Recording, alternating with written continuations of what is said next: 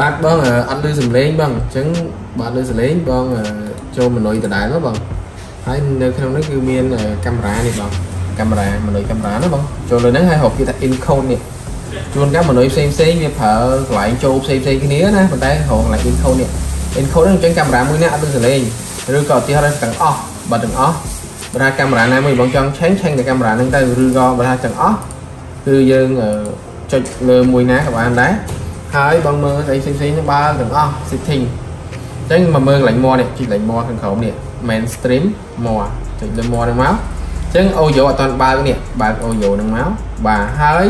នៅ audio សោះនេះនៅខាងក្រោមនេះអញ្ចឹងបងយកពាក្យថា HD CVI កុំយក local local អានេះគឺបានតែអាមិចសលេងឧបករណ៍មិចសលេងគេដោតចូលទេអញ្ចឹងយើងអត់ទេគឺយើងយកមិចសលេងពីកាមេរ៉ាពីក្របកាមេរ៉ាមកអញ្ចឹងយើងយក HD CVI ហើយយើង OK មក បាទអញ្ចឹងមើលមម្ដងទៀត HDCI បើកណាអូយោបើកអញ្ចឹងបន្តទៀតយើង apply នេះខាងក្រោមនេះ apply apply មួយសិនអញ្ចឹងនៅក្នុង substream នៅក្នុង substream យើងក៏មើលមើលមកដែរបាទមើលមើលមកដែរអញ្ចឹងគឺយើងបើកដែរទៅណា OK បើកដែរទៅហើយយក HDCVI ដូចគ្នា OK ហើយយើង apply ទៅបាទអញ្ចឹងទាំងពីរហ្នឹងកែវាទៅ ក្នុងថៃនេះគឺអត់មានអីទេយើងអត់មានឡៃអីត្រូវកែទេណាអានេះមិនបាច់កែទេទុក default អញ្ចឹងទៅបន្តមកទៀត channel ទី1នេះយើងបានបើកឲ្យវាលឺសលេងហើយអញ្ចឹង channel ផ្សេងផ្សេងអត់ទាន់បើកអញ្ចឹងយើងយកពាក្យថា copy to នេះដើម្បីឲ្យ channel ផ្សេងផ្សេងបានដែរ copy to all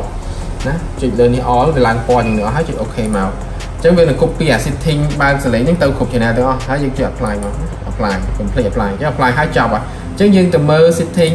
channel កាមេរ៉ាទី2ចាំមើលវាដូចអត់ ណែទី2មុំមកហើយបើកហើយស្រាប់ទេ HD CVI បាទមកកន្លែងនេះបើកហើយគឺ HD CVI ណាបាទអូខេអញ្ចឹងតែប៉ុណ្្នឹងឯងកន្លែងសិតសលេងដែលថាយើងឃើញរូបតែតាមទូរស័ព្ទតាមយើងបើកសលេងអត់លឺដោយសារកន្លែងហ្នឹងឯងបាទ